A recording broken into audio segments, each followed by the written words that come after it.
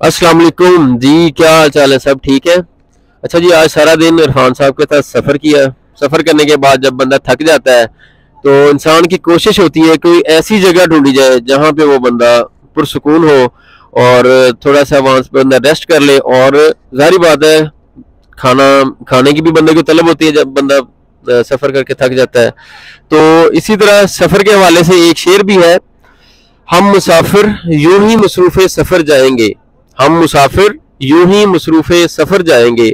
बेनशा हो गए जब शहर तो घर जाएँगे। तो आज के सफ़र करने के बाद हम यहाँ पे बैठे हैं खाने के लिए। तो मैं इरफान साहब से पूछना चाहूँगा कि सर, ये जो माहौल बनाया हुआ है, रवायती सा माहौल है तो इस माहौल के बारे में आप क्या कहना चाहेंगे सर?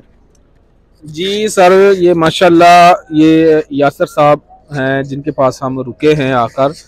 तो इन्होंने हमें एक बड़ा, एक अच्छा माहौल जहाँ पे है, उन्होंने कोशिश की है इसमें कुदरती माहौल की तरफ़ लाने की।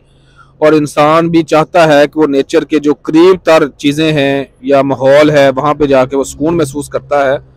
और जो हम बड़े बड़े होटलों के अंदर जाके खाने खाते हैं, वहाँ पे हमें वो जायका और वो माहौल नहीं मिलता, जो हम यहाँ पे एक, इन्होंने ओपन एरिए के अंदर एक ये हट सी बनाई हुई है जहाँ पे बड़ा अच्छा है। बड़ा कवर किया हुआ इसने इन्होंने सर्दी के वाले से भी इन्होंने कोशिश की है कि आने वाले बंदे इस इस, इस सर्दी से भी बच सकें। तो ये यासर साहब हैं ये इन्होंने बड़ा एक अच्छी हमारी मेज़बानी कर रहे हैं और हमें इन्होंने कोशिश की है कि एक ना नेचुरली माहौल जो है कुदरती माहौल जो है उधर लाने की।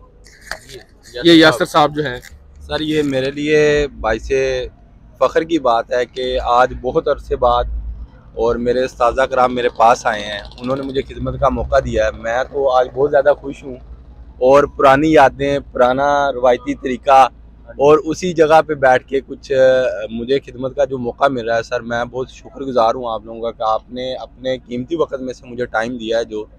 तो अल्लाह ताला, सर, आप लोगों का साया कायम रखे और आपकी बदौलत ही, सर, हम आज इस मुकाम पर हैं।